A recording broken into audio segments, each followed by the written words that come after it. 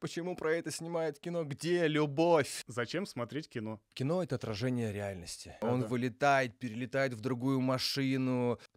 Чел, ты серьезно, блин? Ты можешь снимать на iPhone Мгм. спокойно. Самый тупой режиссер в мире. Фильтруй базар. Все мужики плохие, это все понятно. Мы все вас там, девочки, мучаем, там, э, абьюзим. Больше типа- 500 за проект. А, Не скажу. Спилберг красавчик. А?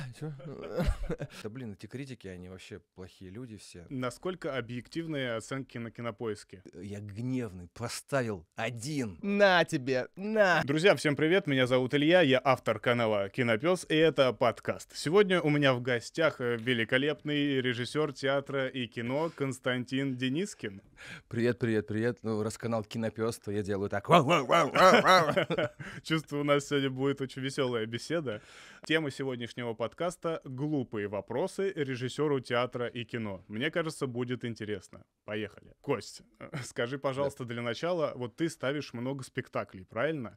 Расскажи вот что-нибудь про свою профессию. По профессии, по своей первой профессии, я вообще э, театральный продюсер. Вот, я закончил ГИТИС, э, продюсерский факультет. Вот по второй профессии я уже театральный режиссер. Я закончил режиссерский факультет в ГИТИСе. И по третьей профессии я сейчас учусь на сценариста, пишу сценарий, я буду сценаристом. Вот. А по четвертой профессии я там сварщик пятого разряда. Я еще чуть-чуть историк, учился на историка. Блин, дофига себе. да, да, да, да. У меня такой бэкграунд. Ну, если говорить про профессию режиссера, то да, действительно, я режиссер, я ставлю э, спектакли, э, снимаю короткометражки, ну, фильмы, э, пишу сценарии и вот двигаюсь в этом направлении. Перейдем к первому вопросу, глупому вопросу. Как стать режиссером? Как стать режиссером? Мне кажется, для этого кинорежиссером, да, мы говорим про кинорежиссеров. Слушай, ну ты скажи, наверное, и про театрального режиссера, и про кинорежиссера. Я понял. В общем, чтобы стать э, кинорежиссером, не обязательно.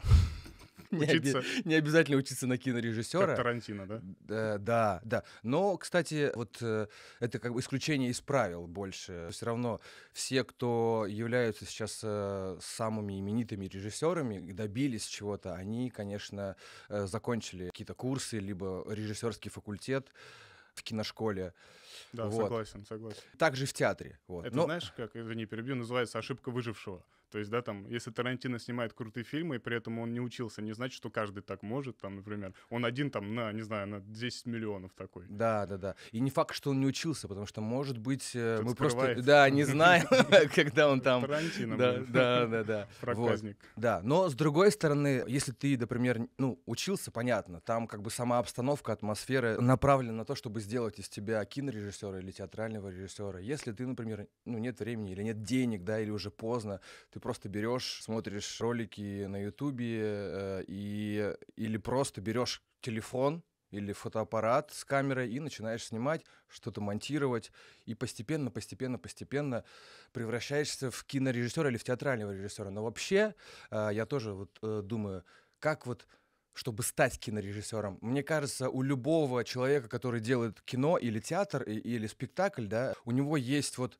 тот фильм или тот э, спектакль, после которого ему все говорят, вот теперь ты точно кинорежиссер. Или, или театральный режиссер. Да, или театральный режиссер. Слушай, я когда готовился к этому подкасту, ну, я там смотрел там разные вопросы, которые задают э, режиссерам, и я вот наткнулся как раз на ролик, и там Алексея Нужного, знаешь Мгм, такого да, режиссера? да, да, да, Огонь он снял, что-то еще Да, крутое. да, да. Вот, и он, знаешь, что сказал? Вот его спросили, как стать режиссером, он говорит, надо смотреть кино, и все. Как бы ты согласен Он с этим? немножечко, мне нет? кажется, л- он, мне кажется, лукавит. Немножечко лукавит. Потому что все равно Леха, Леха. мы тебя найдем и с тобой поговорим. Мне кажется, что все равно режиссер это тот, кто создает продукт. Спектакль ли это, фильм ли это, да? И поэтому он называется режиссером. Вот. Понятно все, Леха, ну вот как-то так. Леха, Обманщик. ты, ты это, да? Я уже думал, просто смотрю кино и буду снимать фильмы. Так, второй вопрос. Наверное, ну я примерно знаю, для чего это нужно, Мгм. но, возможно, многие не знают. Хотя есть наверняка какие-то нюансы, которые ты нам сейчас раскроешь, зачем нужна кинохлопушка. Кинохлопушка, а, во-первых, она фиксирует кадр, ну, то есть фи- фиксирует начало кадра. При Мгм. монтаже хлопает, да, Да. и когда начинается склейка монтажная, когда э, постпродакшн, Да. э, то по этой склейке как бы все ориентируются, что Понял. сцена пошла. Вот, это для этого, в первую, ну, как бы в одну из очередей. А, и, конечно же, на хлопушке написано, ну, там, номер кадра, это главная ее функция, номер кадра, сцена, локация, фильм. Это Э, тоже для постпродакшена, да, да, да, для Мгм. постпродакшн, потому что без него будет полный хаос, типа, где это брать, а откуда это, то какая тут звуковая дорожка, а какой здесь, какая тут видеодорожка, как это. Если этого нет, то при монтаже и при создании фильма это будет огромной проблемой, вот, но бывает и без этого, без Слушай, ну хлопушки. вот я этого, кстати, не знал. Ну, я примерно представление у меня было, для чего это нужно, а вот так вот детально я не знал. Да, ну, да, да. интересно, интересно. Да. И вот. еще тогда вот еще один глупый вопрос. Возможно, он даже и не глупый. Почему для начала съемок почти всегда, ну или вообще в фильмах, где э, которые я смотрел, говорят мотор или камера мотор. Обратная связь. Ну, говорят, камера, мотор бывает, звук пошел, камера пошла. Да, да, да. Это как бы обратная связь. То есть я говорю, вы готовы? Вот Де- хлопушкой. Да. Да. В- хлоп- Мы готовы. И мне отвечают, да. Камера, мотор, э, звук пошел, начали. И все. И значит, Ну, короче, после того, про- когда все говорят, что они готовы, мы начинаем, артисты начинают играть э, сцену. Мгм, понял. Вот. То есть, как и хлопушка примерно, да, там, если она хлопает, да, там тоже Да. какое-то обозначение, да, что началась сцена, и то же самое мотор. Просто ничего ну, сложного, да, там нету. Да, да, да, да, да. Это такая для Ну работы. все, значит, разобрались. Ну все, давай, пока.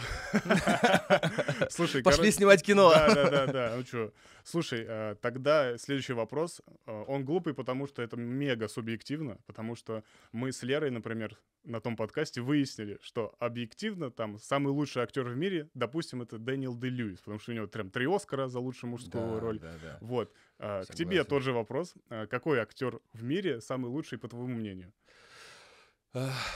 Вот как режиссер я скажу так. Наверное, все зависит от того, какой фильм ты снимаешь. Мгм. И если актер выполняет все э, как бы задачи, которые перед ним ставит режиссер, и делает это точно, и делает это глубоко и проникновенно, и даже, возможно, с первого дубля, то это самый лучший актер. То есть это может быть любой А человек. такие есть? Да, такие есть, и я вот знаю про Александра Петрова, да, к нему можно как угодно относиться, но рассказывают, что те, кто с ним работал, э, в чем его крутость, да. Он выходит, он, во-первых, он дома репетирует, и когда он выходит на площадку, то он все делает точно с первого дубля то, что требует режиссер. И поэтому не тратится время э, на второй дубль, на третий, на четвертый, на пятый, на шестой. Вот, кстати, я тоже размышлял, почему э, выбрали... Был же жесткий кастинг, да, фильм «Вызов», э, и взяли Юлию Пересильд. Да. Многие там возмущались, насколько можно, там она везде и так далее, как Ну, она... Нормально вроде. Да, нормальная, но, как бы мне кажется, одна из важнейших параметров, почему ее выбрали, потому что она тоже вот такая Ага. вот профессионалка, и попав в космос, мне кажется, это супер экстремальные условия. Ага. А, она сделает все точно с первого дубля, не, не будет ни на что отвлекаться, будет заниматься своей вот именно актерской профессией, неважно, в космосе, это на подводной лодке и так Да. далее.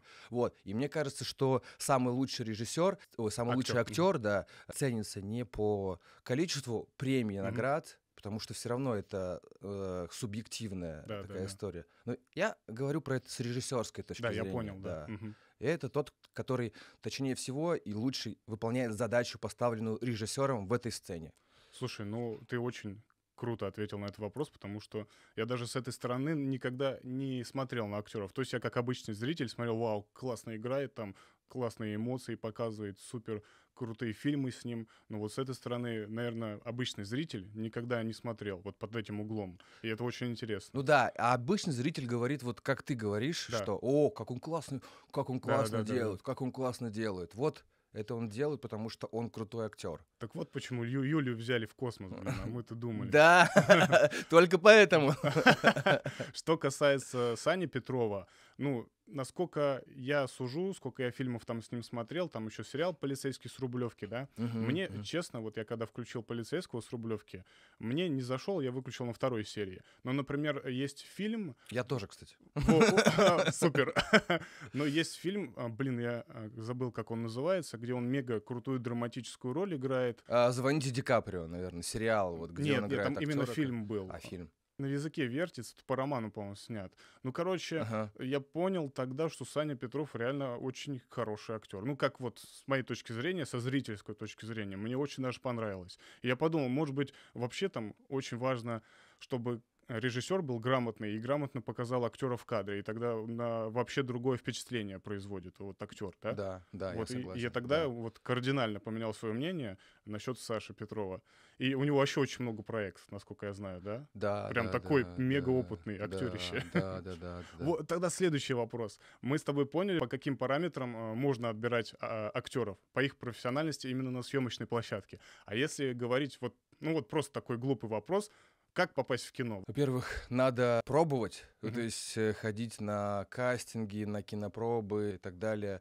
А, Во-вторых, нужен агент, ну, без этого никак. Да-да-да. Э, В-третьих, нету таких каких-то рецептов, которые бы вот ты сделай э, такой алгоритм, ты Мгм. сделай А, потом Б, и ты попадешь. Нужно оказаться в нужное время, в нужном месте. Учитывая то, что ты должен делать при этом все точно, четко, как хочет того режиссер, Мгм.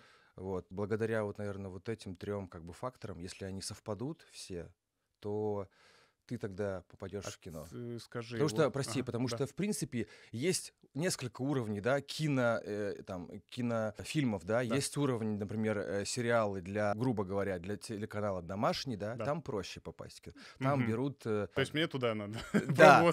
да, есть кастинг-агентство, где текучка, и они там отбирают, да, почти всех. Есть, э, значит, чуть повыше фильмы, там, допустим, для телевидения, для Первого канала, там, да, там чуть посерьезнее кастинг. И есть как бы вот платформы, либо кино, которое полнометражное кино с хорошими режиссерами, там уже более э, детальная м, работа с актерами, и они больше работают на кастинге, выбирая себе персонажа, ну, героя, э, актера на ту или иную роль. Вот. Тогда вот из этого вопроса вытекает следующий. Обязательно ли учиться на актерское мастерство, чтобы попасть в кино? Ну, понятно, что сейчас там и блогеров уже берут в кино, да, и есть люди реально, которые не учатся. Это, наверное, можно сравнить, вот я спрашивал, как стать режиссером, да, наверное, примерно то же самое. То есть нужно на актерском, или все-таки это разные вещи? Нужно на актера учиться? Я думаю, что нужно.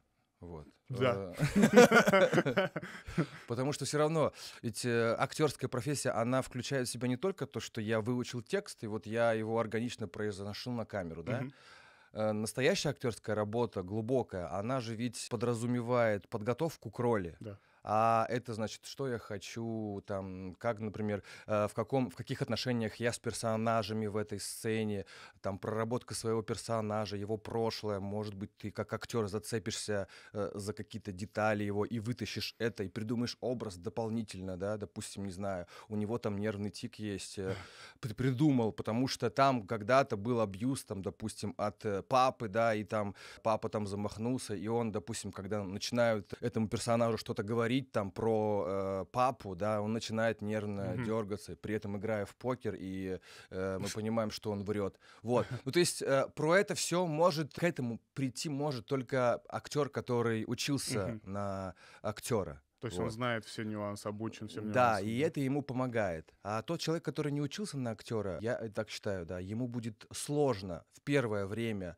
блогер ли это или какой-то, я не знаю, там э, спортсмен, да, ему будет сложно в первое время. Конечно, в какой-то момент э, опыт, практика, он научится быть органичным в Да. кадре и так далее. Но в театре это невозможно, в принципе, потому что Ага. в театре ты, в отличие от кино, находишься на сцене, а может быть такое, что 40 минут, да, 40 минут на сцене, это не кадр, когда Да, да, да, да. две да. минуты сняли, отдохнул, попил кофе, водичку, и потом, если вдруг что-то не то, пересняли, да, тут, тут, тебе, тут тебе на сцене нужно попасть в десяточку, вот эти 40 минут находясь, сделать все точно. Вот этому учат на актера, когда ты учишься, на театрального актера.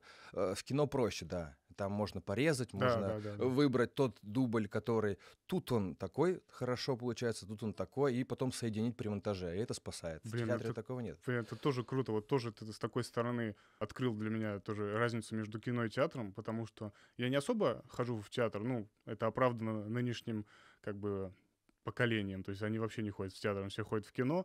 Но я иногда хожу, то есть я пару раз там в год могу сходить э, на какой-нибудь спектакль, и вот меня удивляет, как они, у них же нет права на ошибку, то есть, Вот. понимаешь, да, вообще Да, нету. да, Ты да. выходишь, особенно когда уже премьера, да, там, и они выступают, это настолько круто, наверное, блин, что вот они не ошибаются и все делают четко и без ошибок, вот так вот. Да, и вот на это нужно учиться. Вот, да, да. Ну, я понял, понял. Это очень Ну, тоже если- интересно. Если ты хочешь стать киноактером, я думаю, что проблем не будет. Ну да, да. Ставишь перед собой камеру, заучиваешь несколько реплик и просто играешь, смотришь. Тут, тут я как-то не очень, надо переснять. да, да, да, и в итоге у тебя с, там, с десятой попытки получится, но потом все лучше, лучше, и будешь потом как Петров. Прям сразу выдавать. Ну, не знаю, на- как Петров, но что-нибудь, наверное, получится все-таки. Следующий глупый вопрос. Что нужно сделать, чтобы получить Оскар актеру или режиссеру? Это разное немножко, да, потому что актер, он же ведь создает героя, да. Актер ценится по диапазону, по актерскому диапазону, да. И чем шире актерский диапазон у актера, чем он разнообразнее в кадре, тем больше, как бы один из показателей того, что тем больше он может претендовать на оценку кинокритиков. Ну, Мгм. то есть, и если он это предъявляет в кадре, да, и также тоже театральный актер. Этот фактор для актера важен. Опять же, тоже везение, мне кажется. Какой я фильм попал, к какому режиссеру. Вот бывает, что вроде как э, классный сценарий, классный там э, каст почти весь, но главный герой он не попадает, и он не может ни на что такое рассчитывать, Мгм. да. А режиссер? Хотя режиссер крутой, А, да, у мгм. фильма. Вот. А, ну, например, вот взять Джокера, да, вот э, Хит Леджер играл. Мгм. Ну, круто же он сделал, Да, да? да, да. Круто же он несомненно. ну, все сложилось же. Он попал к крутому режиссеру, он работал над, глубоко проработал образ Джокера и показал там разный диапазон, да, и сразу оценили. Да. Сразу кинокритики оценили, и он, по получил, да, за эту роль. Посмертно, да. Да. Мгм. Посмер- А он же умер же, по-моему, вот как... Или после. По-моему, после. Я что-то точно не могу сказать, но я точно видел видосы, где вот вручали Оскар ему посмертно, там все, типа все актеры именитые сидят и плачут. Да, и так что он посмертно точно Ну, получил. ну да, да. Ну и, или там брать тоже каких-то именитых актеров. и Вот. То- тот же, например, Ди Каприо, да, он долго не получал свой Оскар, который многие считали, что он заслуженно был. Вообще, кстати, почему? Вот я тоже думаю, вот Ди Каприо он очень крутой актер, Ну очень да. крутой актер. И, конечно, э, Оскар э, это дело субъективное, там есть Да. личности. То есть даже вот то, что я говорил до этого, это все фигня. Вырезаем. Да, все зависит, все зависит от того, э, в каких отношениях ты с большинством кинокритиков, которые э, принимают решение, вручить ли Оскар или не вручить Да, Оскар. да, да. Это, Вот это, наверное, самое важное. Потому что все равно премия, награда это дело ну, субъективное максимально. Там нет такого, что об- какой-то объективизации. И поэтому, что касается и режиссера, что касается и актера, как я дружу с критиками, так я и получу. Если я не дружу с критиками, то я ничего не получу. Как бы я ни старался, а может быть получу там через несколько лет. Вот э, тоже интересный факт. а, насколько я знаю, если фильм получает «Золотой глобус», да, Мгм, главную мгм, награду, то он мгм. получает и «Оскар» потом. Это как бы ка- какое-то такое правило сложившееся. Вот я не знаю, почему, интересно. А какой объективности тогда можно судить, если вы даете «Оскар» фильму, который точно получил «Золотой глобус», ну, примерно, да, может быть, не всегда так, Ну, прям да, там не на всегда. 100%, да, ну, вот да. примерно можно предугадать, например. Да там просто одни и те же люди сидят, и они такие, Во. так, что-то не хотим работать. Да ну, Что там, то же самое? да-да-да. Ладно, давай галочки поставим. Хотя э, я знаю, что в чем прикол премии «Оскар», в том, что там что-то огромное количество ак- академиков, э, или как они, э, жюри вот это премии «Оскар», там, по-моему, в каждой я стране даже не знаю, что за жюри есть там. жюри, да, и там около огромных, там несколько тысяч, по-моему. Да? И поэтому, да, и там как-то это все Даже не знал, надо почитать. Да, и там невозможно, там не один человек такой, или там троица сидит, так, кому мы Да-да-да-да. сегодня дадим. Вот, но все равно, э, мне кажется, что это, несмотря на это, это супер субъективная история. Да, потому что обычно на Оскар номинируют много хороших актеров, реально, Да. которые, на мой взгляд, на одном уровне могли сыграть даже.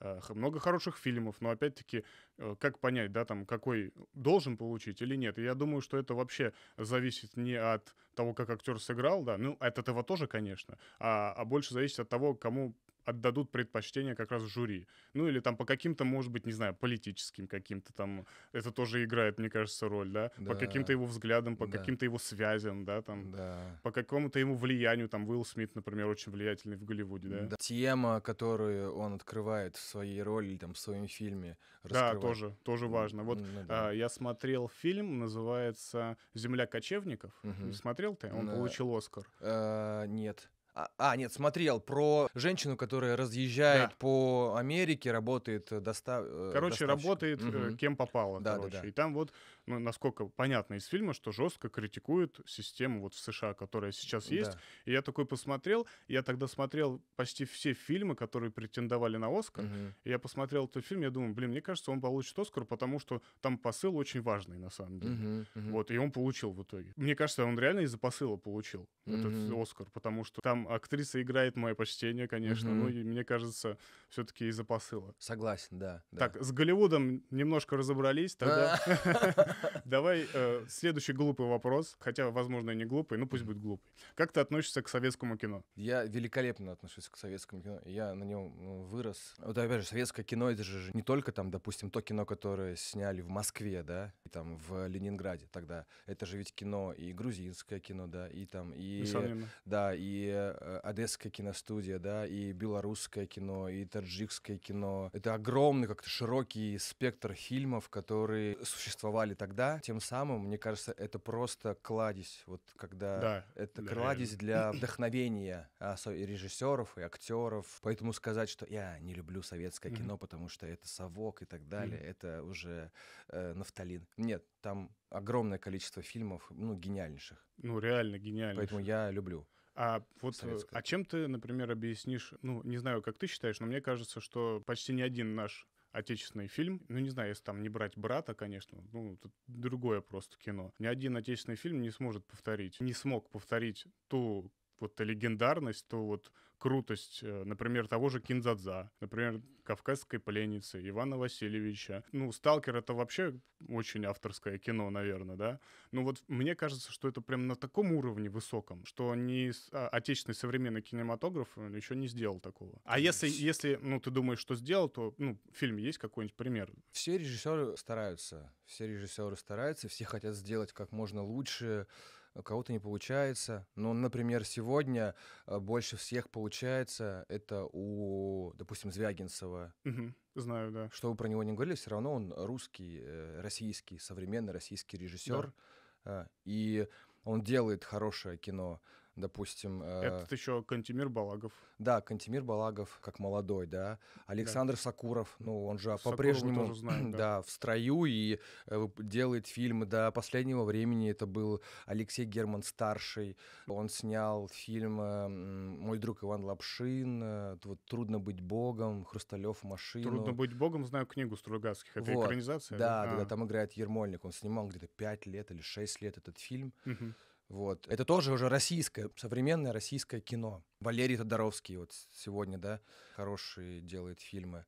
Опять же, ну, ну, мне кажется, вот этот Клим Шипенко, который снял фильм, первый фильм в космосе, это однозначно будет в истории, Ну, да, попадет. будет в истории, да. Да. Кстати, я удивился, когда тоже думал про этот фильм, ведь там же космонавты играют. Ты смотрел Да, этот фильм? да, смотрел. Космонавты, кроме Пересильда, м, на корабле еще играют и космонавты. Да, и да, да. как он, как режиссер, очень с ними очень непрофессиональные актеры, э, как он с ними очень качественно поработал, что в кадре э, Естественно, выглядит. да? почти, да, никаких вопросов к ним Да. нету.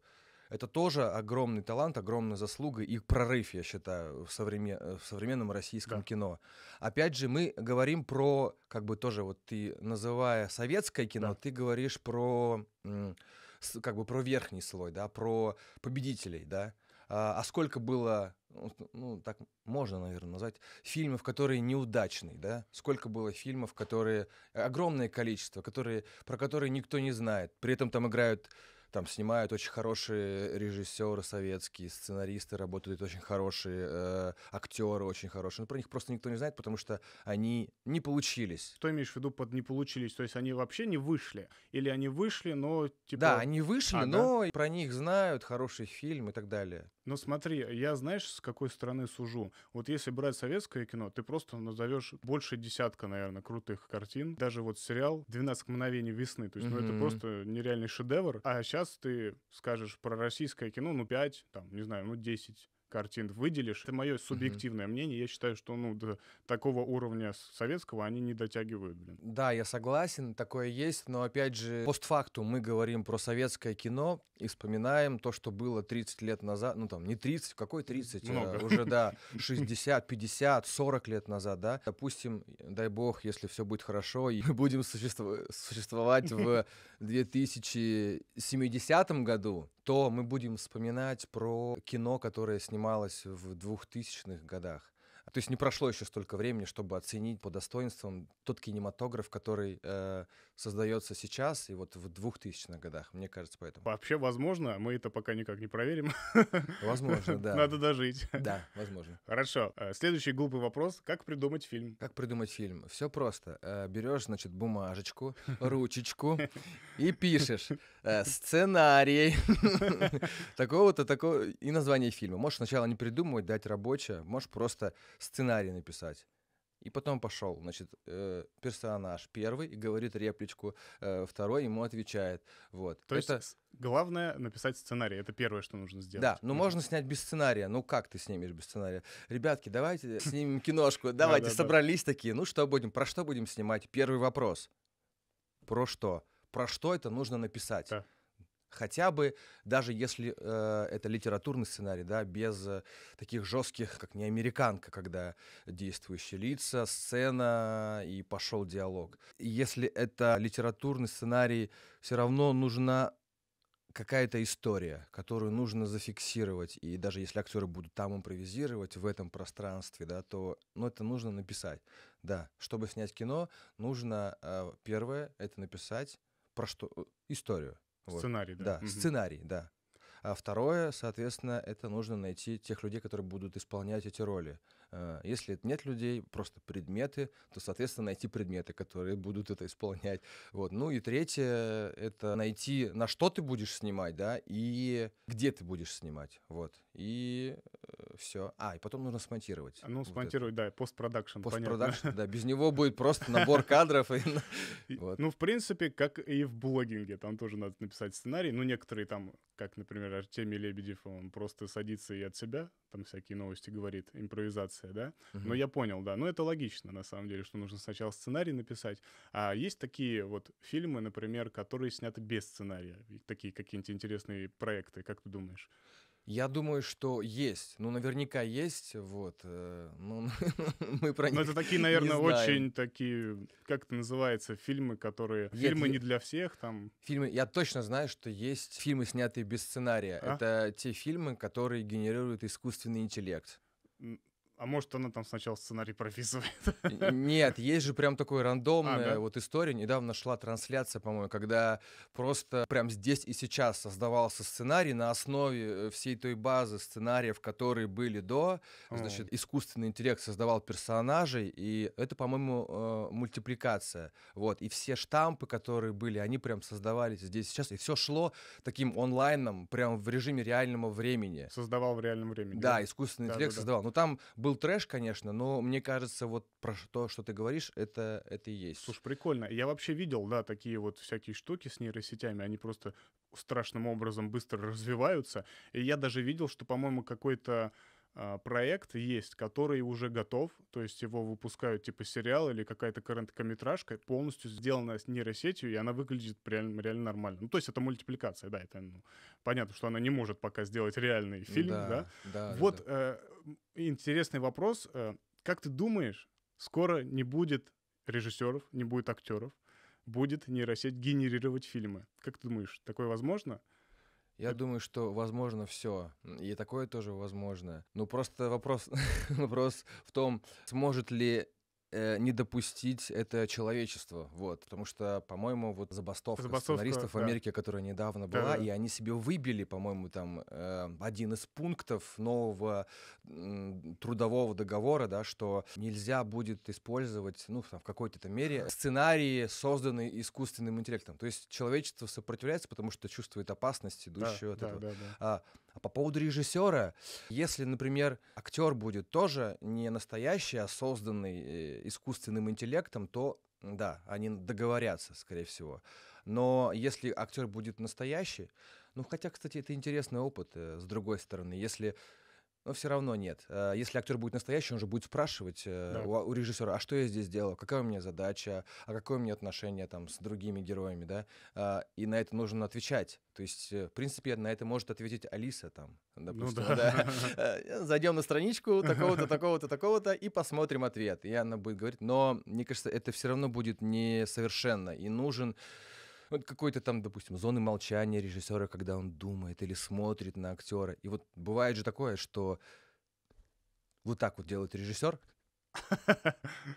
Понимаешь? Тут такой, понимаю. И э, актер выходит и И играет. делает. Да, это знаешь, как называется? Это как э, куриный, такой, типа, птичий язык между актером и режиссером. Ага. Обычно это возникает вот в творческой команде, когда долгое время рабо- работают и Мгм. актер, и режиссер, и они уже друг друга понимают с полуслова. И вот он, допустим, пока пальчиком там может, да, и- или э, крикнуть что-то, и тут все, я понял, я понял. Вот. Или просто назвать какой-то предмет. Вот И- это то, что ты сейчас показал, я прям в начальную заставку буду вставлять. Да, да, да. Да, и тогда я не думаю, что искусственный интеллект может так объяснить, типа, что ты сказал, повтори. Слушай, ну, а то, о чем ты говоришь, вполне логично. Но мне кажется, знаешь что? Что это будет работать в ближайшее время. А если там пройдет, ну, не знаю тоже, как э, заглядывать так далеко во времени, но мне кажется, лет через 20-30 они уже смогут это сделать. Потому что, ну, это же все-таки вычислительная машина, да, она знает все, что человечество когда-либо делало. У нее будет все это. Ну, ты понимаешь, что такое искусственный интеллект, да? То, Да, есть, то есть, мне кажется, все-таки она сможет еще, может, даже и лучше сделать как-то. возможно, возможно, ну нет ничего невозможного. Может, реально будет такой робот, который вот будет как э, человек. Ну тогда, Но это уже Э. слишком далеко мы заглядываем. да, тогда, ну это достаточно печально. Ну, смотря Надо этого не допустить. забастовка. Терминатор. Забастовка гильдии режиссеров. Да, да, да. Или надо уничтожить э, тот чип, который сейчас разрабатывают. Как в этом, в какой-нибудь игре, да? Да, Типа да, да, да, стоит. А Что касается нейросетей, я даже вот недавно видел чувака, который рассказывал, что сейчас многие какие-то компании, рекламодатели, они покупают тебя как диктора, ты приходишь к ним и записываешь свой голос для нейросети.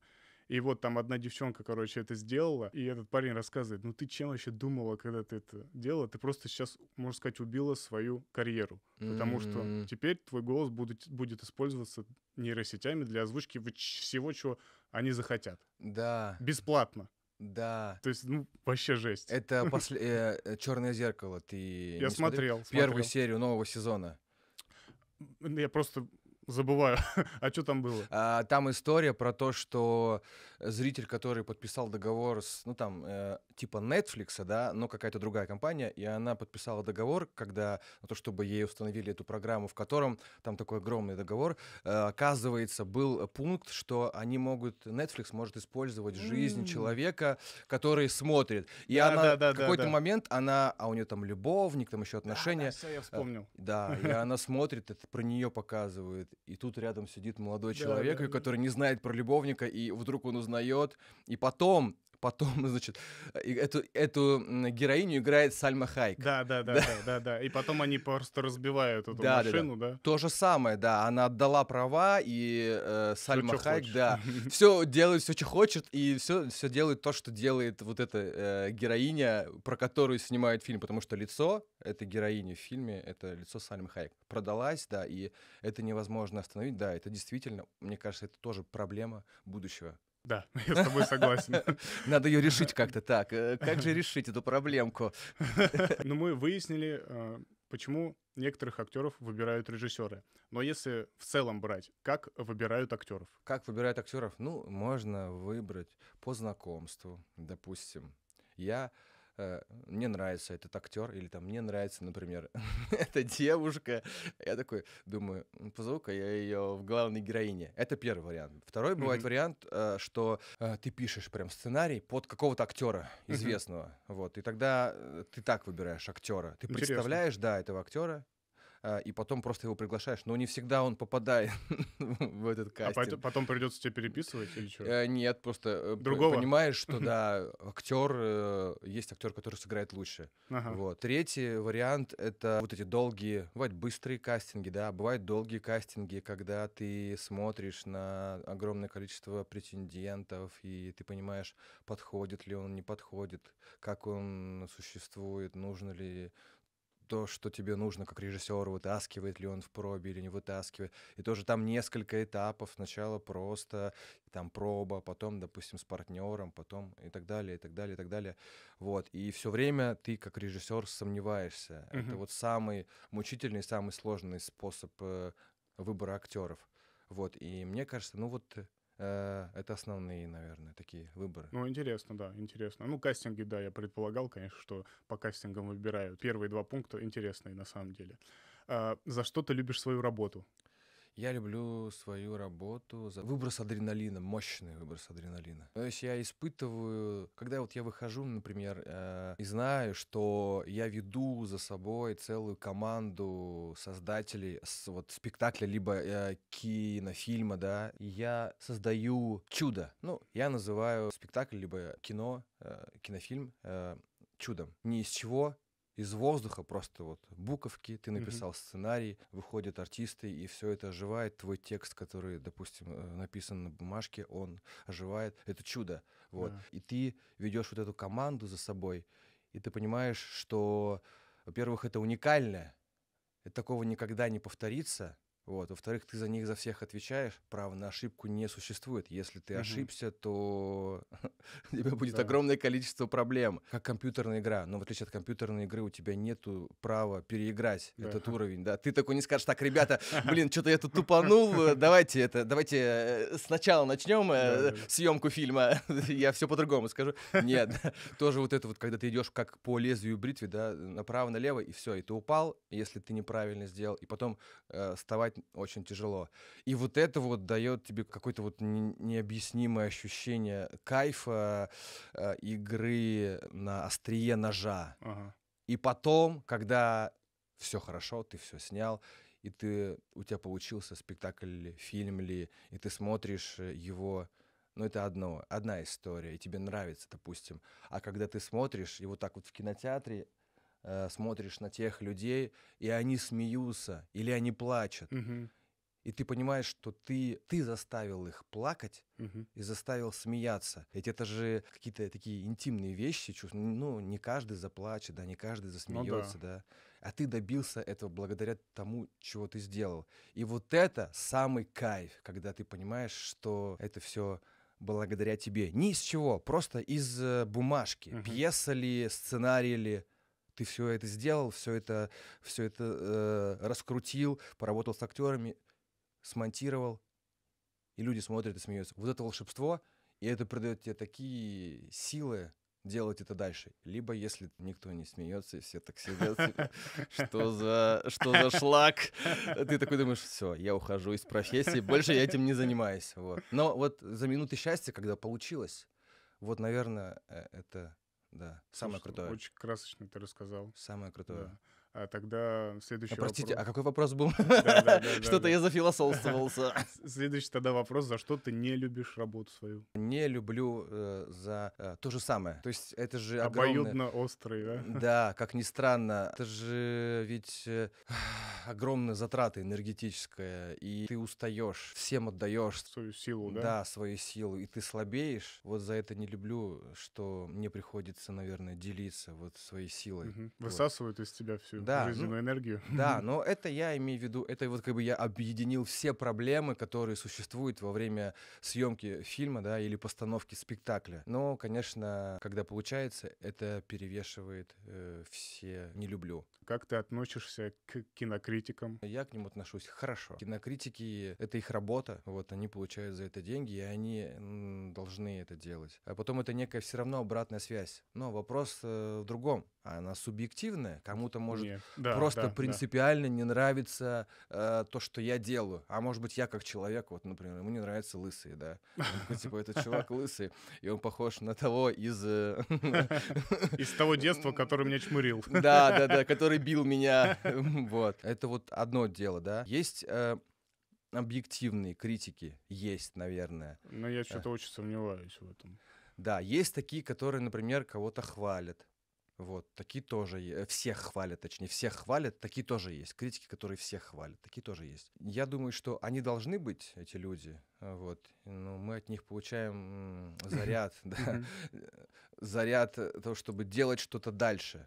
Вот. Конечно, можно сказать, да блин, эти критики, они вообще плохие люди все, но по сути ведь большинство критиков, э, они говорят какие-то правильные вещи, возможно, чересчур эмоциональные, да, ну потому что они все люди, вот, Мгм. но зерно правды у них есть, поэтому круто, что они существуют, и они направляют режиссеров э, и продюсеров всех, вот, кто делает кино. Достаточно позитивное от тебя отношение к кинокритикам, потому что, да вообще, в принципе, критикам. Я просто не знаю, кто критикует театр, но из тех критиков, которые а, говорят про кино, я вообще не могу ни одного не слушать, не смотреть. Мгм, мгм, Как-то вообще, вообще не заходит их вот эта вот критика, мгм. мега субъективная. А вообще, возможно ли это, что они объективные? Возможно? Мне кажется, навряд ли. Ну, нет, возможно. Есть, э, ну, есть все равно м, правда в том, что они говорят. Вопрос в другом. Какой фильм они рассматривают и по каким критериям? Допустим, если э, я человек, который все время э, разбирает э, в своих статьях э, артхаус, да, и я вдруг смотрю, Артхаус, я это слово, блин, искал. да, артхаус, и я смотрю, например, фильм жанровое кино, какую-нибудь комедию, да, где не это важно, а э, важен сюжет, история, комедийные ситуации, как играют, э, насколько комичные актеры, э, персонажи в этих ситуациях, то я, конечно, не могу по этим критериям судить, и, конечно, я сразу захейтю и скажу, типа, полная чушь. Вот, это... А если, например, я э, спец, критик, спец по комедиям, э, я рассматриваю вот с этой точки зрения комедию, то все равно я как критик что-то скажу объективное с своей насмотренностью. Опять же, насколько это комедия, какая комедия, да, бывает комедии э, глубокие комедии, да, а бывает комедии поверхностные, вот. Но Да, мне да, кажется, те, кто делают поверхностные комедии, те понимают, что они делают такой Ну да. жвачку, которую вот пожевал и выплюнул, да. Соответственно, нужны на этот фильм нужны критики, которые будут э, критика, как сказать, которые имеют опыт критики вот таких жвачек, вот. И, соответственно, он тоже что-то скажет э, про этот фильм полезное, Ага. вот. А если, конечно, э, рассматривать с точки зрения какие-то вот такие есть гуру критики, да, и вот они рассма- а, ну, они, во-первых, не, не будут такие фильмы э, э, рассматривать Мгм. и как-то их разбирать, э, какие-то э, такие м, развлекательные, да, жанровые, допустим, про Марвел, там, ну, Да. про Марвел, почему про, про супергероев, вот Да-да-да. э, э, они как бы будут заниматься своей специализацией. Вот. э, Мне кажется, что тогда такие критики не правы, разбирая вот такой фильм, который не подходит им по жанру. То есть Вот. еще они должны в определенном жанре, да, разбираться? Ну получается? да, э, да, да. Мне кажется, ну тогда можно не прислушиваться то, что говорит критик про этот фильм, вот, потому что, э, ребят, я снял для зрителя, для возраста 14-16 лет, и я вот просто... У меня цель была такая. Ну, типа чтобы- форсаж. Да, да, да, чтобы ребята просто отдохнули и испытали какой-то кайф вот, от гонок, допустим. Вот, все, я больше ничего не ставил.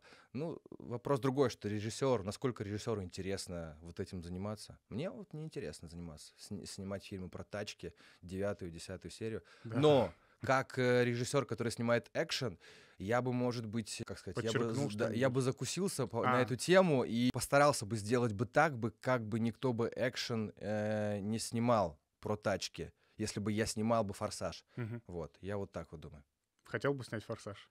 Ну вот если такая цель, если снять не так, ну как бы в рамках жанра, который, э, существ, который мне предлагают, но найти какие-то нов- новые э, сюжетные повороты, да, новые формы съемки, не шаблонные, не Да. те, то я бы, наверное, бы попробовал бы Типа что-нибудь придумать там, гонки в жанре хоррор, Ну да, да, да, да, да. какую-нибудь такую штуку. Да, вот когда, например, э, есть такой фильм э, «Трансформеры. Темная сторона Сторона Лу- Луны», ага. да, и он очень сильно отличается, так же, как, кстати, и, например, «Стражи Галактики», последняя часть, они очень отличаются. Отличаются, да. Да, и вообще «Стражи Галактики», вот эта вот линия, э, история их, она очень отличается от Человека-паука, например, да, или да. там от Железного Человека.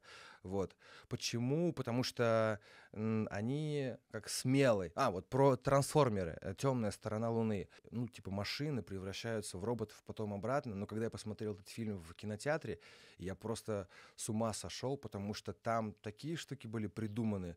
Вот там вот момент есть на дороге, когда у них происходит схватка Мгм. между трансформерами добрыми и трансформерами злыми. Вот. И там какие-то вот такие перевороты трансформеров, там Да, да, он да. вылетает, перелетает в другую машину, э, как пассажир э, этого трансформера. И я такой, вау, что происходит, как мне это нравится. Это такое развлечение крутое. Вот если снимать фильмы про тачки и идти вот в этом направлении, что-то новое в плане, искать что-то новое в плане развлечения, Ага. то тогда это круто. Я тогда буду за, за Возьмешься. браться. Где, где эти люди, которые... Так, ну напишите уже, блин, Да, да, да, да. Я сделаю. где лучше учиться на режиссерское мастерство? Э, Лучше учиться где? Я думаю, что у жизни. Или в институте? В, типа. институте, да. В институте, ну, разное количество, и разные есть киношколы, да. Вот я, например, всем э, советую какие-то институты. Кому-то, может быть, такие не нравятся институты, куда идти надо на режиссуру. Вот. Кто-то, может быть, предпочитает не российские институты, а э, какие-то западные хорошая школа, там, чешская, да, кинем- чешский кинематограф, ну, американский кинематограф, тоже хорошие школы у них кинематографические. У нас, ну, мне кажется, есть такие вот э, мастера, Мгм. вот, это важно. Все зависит от мастера, который учит этому. Вот в Авгике есть очень крутые мастера по кинорежиссуре. Мгм. Там вот братья Котты, по-моему, Кот. Сейчас думал, скажешь, брать Коина. Да, Котты. Кот ты? Кот. Кот, коты. Да, коты. Вот. Они очень крутые Ага. режиссеры, и у них очень крутая э, с- э, своя как бы мастерская. Слушай, а если, например, брать вот а, парня какого-нибудь молодого или а, девочку, у которых, например, мало средств, да, и которые хотят учиться на режиссера, куда бы лучше им пойти учиться? Вот в России, вот если в театре, я точно бы сказал, на режиссера идите в ГИТИС, на режиссерский факультет, Ага, потому что режиссерский факультет самый лучший факультет. в мире. Такая есть кричалка. А, Вот. э, То в э, кино с этим сложнее, потому что, вот, ну, говорю, в ГИК там все зависит от мастера. Везде э, вот есть еще курсы кинорежиссеров и сценаристов, высшие курсы кинорежиссуры и сценаристов кинорежиссеров и сценаристов, но там, по-моему, после высшего образования нужно идти. а, Вот, и там тоже все зависит от мастера. Там, по-моему, Хатиненко, э, как сказать так, хедлайнер всей этой истории. Вот киношкола индустрия, тоже все зависит от мастера. Э, новая школа кино, московская. Короче, можно идти, на самом деле, в любое место. Главное, чтобы мастер был хороший. Да, поэтому Мгм. и так вот надо разобраться в, к тому, кому ты идешь. Мгм. Э, Как-то связаться с выпускниками, поговорить, потому что частенько я слышу от режиссеров кинематографа, что все говорят, блин, я проучился столько лет, а в итоге в, в итоге все по-другому. Вот. Но бывают такие, которые прям рады и благодарят. Опять вопрос, который вытекает из предыдущего. Сколько зарабатывает режиссер в России? Я думаю, что тоже все зависит от ранга и Мгм. те, какие фильмы ты снимаешь. То есть есть топовые режиссеры, которые снимают фильмы в космосе, да, они зарабатывают, понятно, что ну, нормально. Ну, несомненно, да. Да, а есть режиссер, который снимает сериал, допустим, «Гадалка». Что? Да, да, да. Они зарабатывают, ну, тоже нормально, наверное. Ну, хотелось бы больше. Ну да, да. А сколько ты зарабатываешь? Я зарабатываю, э, это коммерческая тайна. Я не скажу. как, я сейчас как дуть буду. Ну, скажи примерно. Ну, скажи там больше ста. Ну, конечно, да, конечно, конечно, да. Очень много да, больше ста. Это, мотивирует, на самом деле. Да, но не в месяц, это за проект. А, то есть а, проект ты А, можешь я понял. готовить, допустим, ну, в кино, допустим, полгода. А, ну да я понял, значит, неправильно я поставил вопрос, да? Да, да, да, там же нет такой зарплаты. типа. Больше 500 за проект? А, Не скажу. Ну ладно, оставим это в тайне. Ну, короче, нормально зарабатывают. Да, кинорежиссеры нормально зарабатывают. Вот. Да, это хорошая профессия для зарабатывания бабла. Три лучших э, режиссера в мире. Живые или неважно? Не знаю. Ну, давай неважно. В мире Алексей Герман старший, он очень крутой режиссер. Мартин Скорсезе и Стэнли Кубрик. Кубрик. Да, Е. А какие фильмы у тебя любимые у Кубрика? Одиссея, Ага. э, космическая Одиссея, да. Потом э, с широко закрытыми глазами э, шикарный фильм. Ну, э, Заводной апельсин. Мгм. Ну, вообще все фильмы. Ну вот действительно, это тот режиссер, фильмы которого ты смотришь и такой, блин, это круто. И, блин, это круто. И каждый фильм это круто. Вот э, для меня м, планку, он держит планку. Для меня вот это э, важный показатель Ага. э, хорошего Качество, да? режиссера. Ага. Да, да, да. Также и у Скорсезе. Но вот у Скорсезе сейчас а, после ирландца, ну ничего против не имею, но Сейчас у него новый выходит фильм. Да, да, да, да, да. Убийца цветочной луны, по-моему. да, там играет, по-моему, Роберт Де Ниро и Ди Каприо, по-моему. Ну, Роберт Де Ниро у Скорсезе это классика, по-моему. Да, да, да, да, да. Но вот э, большинство фильмов у него э, у Скорсезе очень крутые, да. Ну, это все знают, там, таксист, например, или таксист 2, таксист 3. Нет, таких не было. Такси 4, вот это, которое с машиной. 4, да, да, да. Э, Маршрутное такси. Да, вот. Ну, он его тема гангстеры, итальянская мафия в Америке мне очень нравится. И вот актеры, там, Джо Пеши, например, Роберт Де Ниро, да, Аль Пачино, э, потом Леонардо, Леонардо Ди Каприо, он подтянул. Очень крутой режиссер, очень. Ну, и, Несомненно, да. да, и Герман старший, ну, это просто э, русский, российский режиссер, советский режиссер, э, который вот, э, мне кажется, что он гениально работал с актерами Мгм. именно.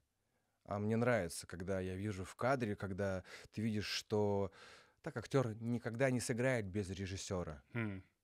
Это нужно поработать с ним. А у, у него какие фильмы выделишь? Тоже все, да? Ну вот, например, вот э, мой друг Иван Лапшин, Мгм. шикарный фильм. Э, Хрусталев машину я когда посмотрел, просто был в шоке. Там есть такие сцены, ну просто они гениальные и сыгранные актерами просто, э, просто шикарно. Вот. Мгм. М, Ну, вот трудно быть богом. фильм Надо мне вот э, этот пробел запомнить, потому что я не смотрел его фильмы.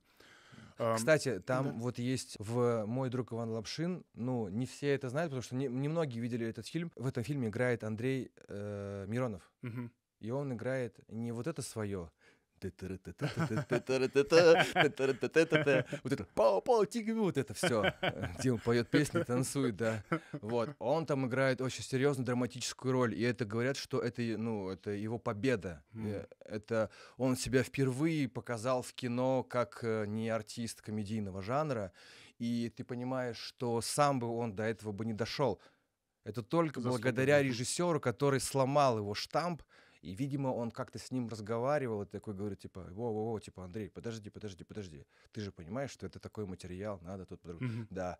И там он э, делает просто все настолько мастерски. Если ты хочешь посмотреть Андрея Миронова не в его обычном образе, да, Мгм. вот это вот э, бриллиантовая рука и так далее, то посмотри, начни смотреть с этого фильма. Мгм, Понял, да. Всем советуем тоже Да, начать. это крутой фильм. А, Хорошо. Мой друг Иван Лапшин. А мой друг. Да. Три лучших э, режиссера России. Например, Михалков. Он Мгм. очень крутой режиссер. Но он же, но он мне больше нравится ранний Михалков. Ну да, да, да. Он российский режиссер или он советский режиссер? Ну, назовем Давай. его. Мне кажется, что если захочет, он сможет снять э, очень крутое кино. Мне тоже так кажется. Да. Мне кажется, вот это э, он. Так. Никита Сергеевич Михалков это первый режиссер, Мгм. который мне нравится. Второй режиссер, наверное, э, Валерий Тодоровский. Мгм, слышал. Да-да-да, сериал «Оттепель». Все.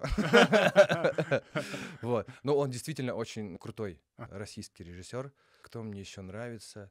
Из современных Жора Крыжовников. Крыжовников? Да, Жора Крыжовников. Не знаю. Который Андрей Першин, который снял, ну, тоже жанровое кино. Вот он снял «Звоните Ди Каприо», «Горько», но он снял. Горько, по-моему, смотрел. Э, Есть отличный фильм с ним, короткометражка, с Трибунцевым, Тимофеем Трибунцевым, «Проклятие» называется. Мгм. Про... О, кстати, это интересная, э, интересная короткометражка, где актер приходит на кастинг и, э, в общем, просит, чтобы режиссер дал ему роль. Вот. Ну и Интересно. он как бы себя показывает. Ты не видел это, да? Не-не. Посмотри, это гениальная работа актера. Вот. э. Но опять же, если актер хорошо работает, то значит э, это хороший режиссер работал с ним. Почему не назвал себя? Ну, я скромный. Кстати, Жора Крыжовников, э, опять же, не всем нравится, но он сначала театральный режиссер, он закончил мастерскую в ГИТИСе, режиссерский факультет, мастерскую Марка Анатольевича Захарова. Ну, а Захаров сам крутой кинорежиссер, да, был. И, соответственно, соответственно, школа Захарова дает знать. э. Ну, по поводу Жоры Крыжовникова, может быть, многие скажут. Я просто ну, не, не знаю, кто это такой, так что я не могу тебе сейчас сказать. Понятно, Да. понятно. Лучший фильм в мире. А, прости, прости. Я забыл. Звягинцев, я же А, говорил. Звягинцев, да. Тогда извини, Жора, Крыжо... э, Жара Извини, Крыжовникова. Жора. Да, мы тебе и ставим э, Звягинцева. Андрей Звягинцев, Да. конечно, конечно. Он, э, я думаю, что он топ вообще. Российский топ, потому что мастер. Ну, просто мастер. Лучший фильм в мире. Лучший фильм в мире — это «Титаник». Титаник. Хороший выбор. Я всем говорю «Титаник», ребята. Лучший фильм в мире, потому что там есть все. Ну да. да. Опять же, у кого-то могут быть... э, Все сейчас, знаешь, за что критикуют Титаник? За историю любви вот эту вот. Она какая-то не очень, если честно. Типа у нее был там хороший муж, да, она там Мгм. закрутила с каким-то вообще пацаном левым, да, мгм. в итоге кинула мужа и в- так страдала по этому пацану, которого знал он вот буквально сколько там это все происходит. Ну, короче, мало. Это любовь. Ну, можно так, да, объяснить. Просто муж был богатый, муж был скучный муж. скучно. Ну да. А чё, да. да, да, да. Ну, кстати, мне наоборот, история любви, она очень подключает. И Да? для меня она понятна. И герои, почему они делают такой выбор, для меня тоже понятно. Ну и там, конечно, ну там все сложилось. Я просто считаю, что там есть и триллер, и драма, и боевик, и... Там вообще, блин. Да, да, да, и экшен, и вот эти вот э, экшен, когда они из одной каюты в другую бегут от воды, ну это же просто мурашки по коже. Даже Да, да, сейчас да. ты смотришь, и ты за них переживаешь, хотя прошло столько лет. Но опять же, кто-то может со мной не согласиться.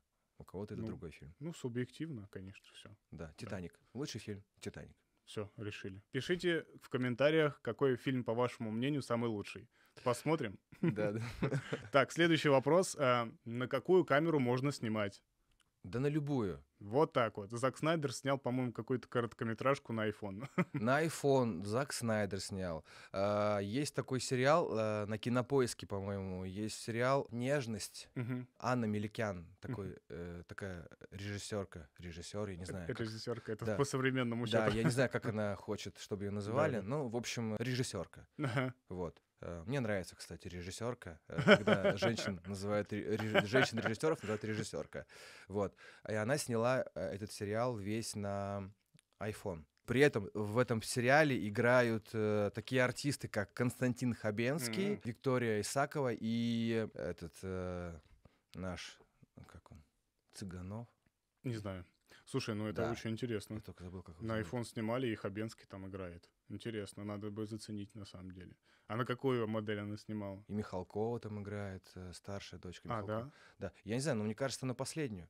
Мгм. Вопрос в другом. Э, Ты можешь снимать, ну, на что угодно, да?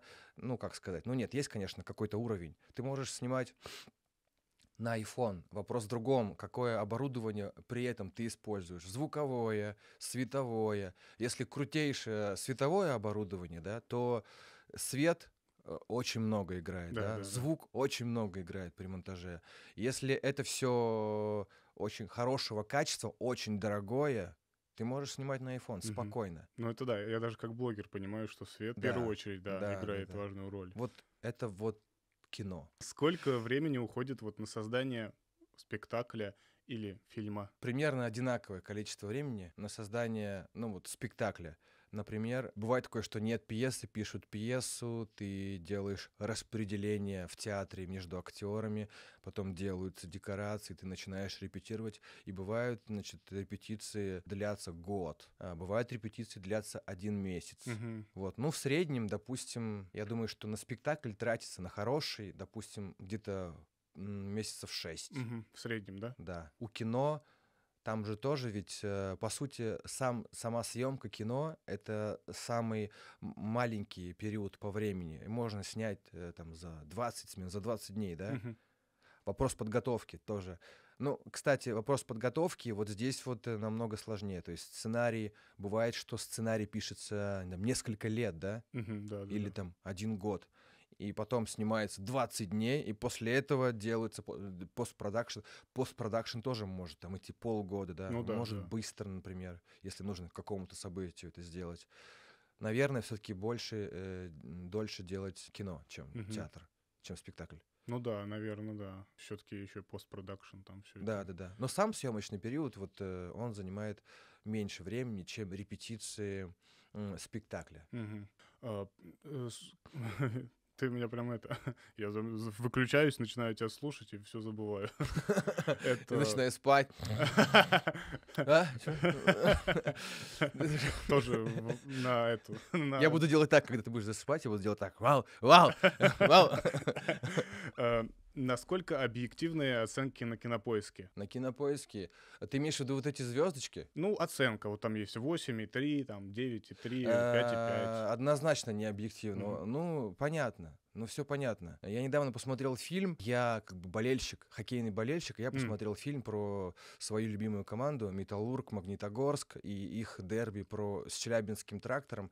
И фильм, ощущение такое было, что фильм снял человек, который не разбирается в этой теме. Извини меня. Человек, который сидел этот фильм. Ну, правда, если ты хочешь со мной поговорить на эту тему, у меня, я готов. Адрес, адрес давай скидывай. Да, да, да, будет в описании к этому видео.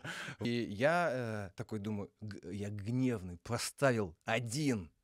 И потом такой смотрю, там 7 и. 4. Я такой, типа, что происходит? Кто эти люди, которые поставили 7 и 4? Э, Потому что это же не так. Вот. Может быть, как раз те люди, которые не разбираются в хоккее. Да. Э, те люди, которые не разбираются в хоккее, мамы, папы, Да, да, да. команда и так далее, всех, кого попросили, такое было ощущение. Поэтому и частенько такое бывает, что ты смотришь рейтинг у кого-то очень низкий, а фильм просто тебя задевает за живое, и ты такой, почему такой низкий Да, рейтинг? у некоторых фильмов а, лауреатов Оскара меньше рейтинг. Да, да, да, да, чем у русских, например, каких-нибудь Да, да, да, комедий, да, да. да, да. Вот.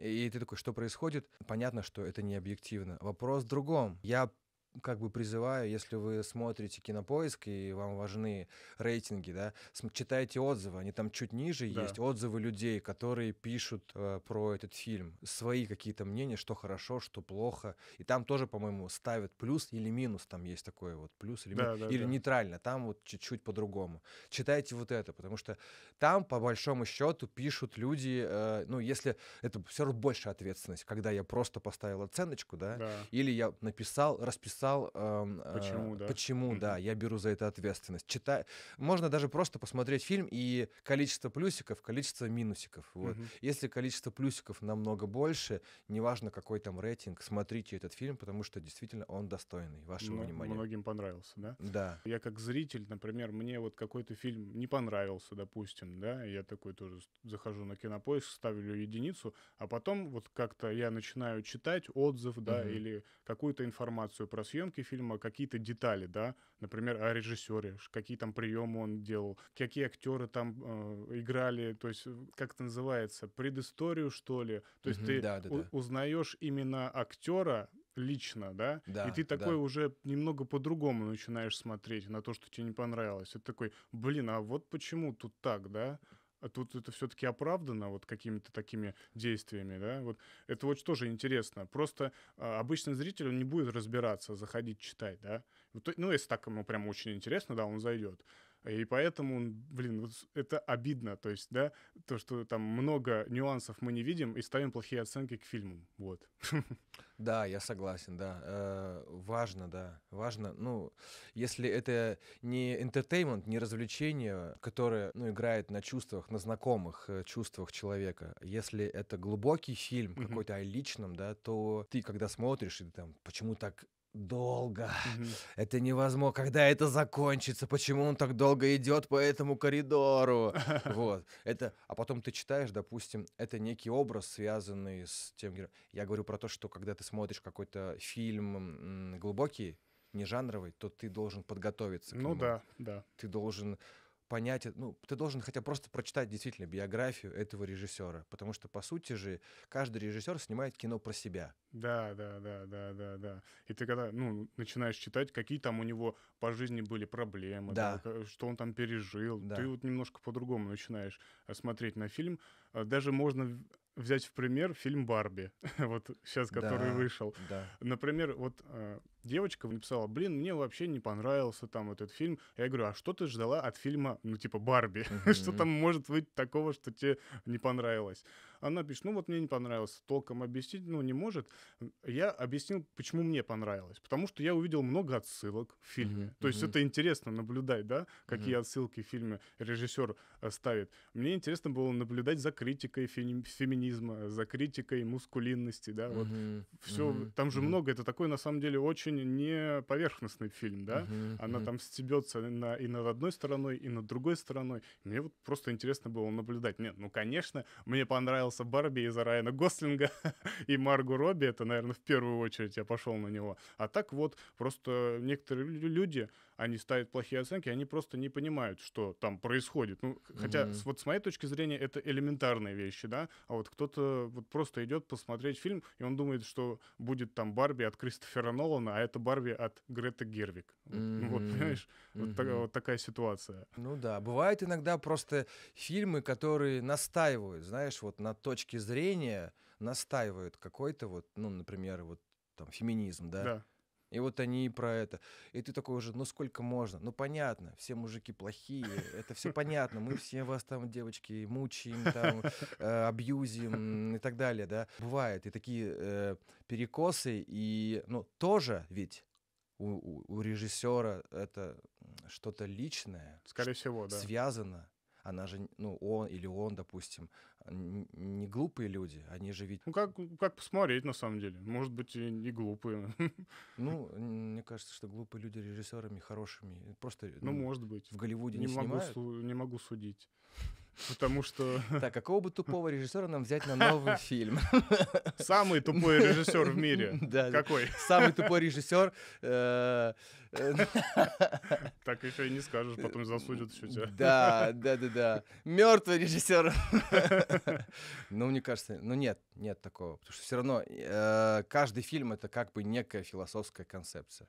Просто знаешь, да, А, ещё- я знаю, самый тупой режиссер это искусственный интеллект. А, он меня не засудит. так вот. На тебе, на. А потом в будущем сможете еще судить потом. Пусть только попробует. да. Просто, знаешь, я, я с какой позиции сужу?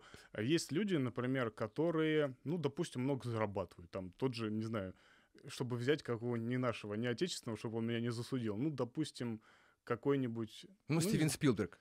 Не, ну Спилберг, не, не, я давай не Спилберга возьмем, как бы все-таки я считаю, что Спилберг красавчик. Да, Согласен. возьмем вообще не, не режиссера, возьмем какого-нибудь, например, Илона Маска или Мгм. Билла Гейтса. Все, весь мир знает этого человека, и все там такие, блин, Мгм. нифига он умный, он крутой, там у него. SpaceX, он ракеты там в космос. А в- в- иногда бывает выдает такую херню, и ты Мгм. такой, чел, ты серьезно, блин? Просто мне кажется, что, возможно, многие люди, которые чего-то добились, это не факт, что они реально там какие-то не глупые, да? Возможно, с режиссерами бывает то же самое. С именитыми режиссерами. Ну, вот смотри, допустим, если я режиссер, Да. и я же вот, когда делаю фильм, я же выхожу к актерам, я начинаю с ними работать. Ну, то есть э, они смотрят на меня. И если они видят, что я тупой, Я тоже вставлю в начальную заставку. они не будут меня слушать. Они скажут, ты тупой, чувак. И они скажут потом продюсеру, продюсер скажет другому продюсеру, а это скажет этому а актеру, а этот скажет этому. И вот так вот сарафанное радио, и все, тебя нет как режиссера, да? а Слушай, если ты глубокий режиссер, ну, да если ты просто не тупой, Ну, то у тебя плане- есть э, плане- возможность выжить. может быть, ты не тупой в плане создания сценария, фильмов, да. А вот, например, как- по каким-то там жизненным параметрам ты можешь быть тупой. А Я согласен. Бывает такое, что ты не приспособлен к жизни, но ты крутой режиссер. И таких примеров много, да. Типа, ну вот, да. э, а что, я не, а что, э, надо покупать э, стиральный порошок, а я не знал. Вот бывает такое, да. Настолько инфантильные личности, но и тоже можно понять, они занимаются только искусством. Для меня важно, например, вот если я посмотрел какой-то фильм, мне очень понравился режиссер, Мгм. а, и потом он выдает какую-нибудь просто неведомую херню, впечатление очень, очень портится от этого. Я понимаю, что ты снимаешь крутые фильмы, но чел, мне очень интересно, какой ты человек сам по себе. Я согласен. У режиссера, как бы, это одна из его, ну, ипостаси, это публичность, да? Да, да, да. Ну, И как ты- у актеров сейчас. Да, да. И ты должен четко контролировать, что ты выдаешь. Репутация, потому что действительно очень много в кинобизнесе, да, и также и в театральной, и, э, ну это не бизнес, в театральном искусстве строится на репутации, сарафанное радио.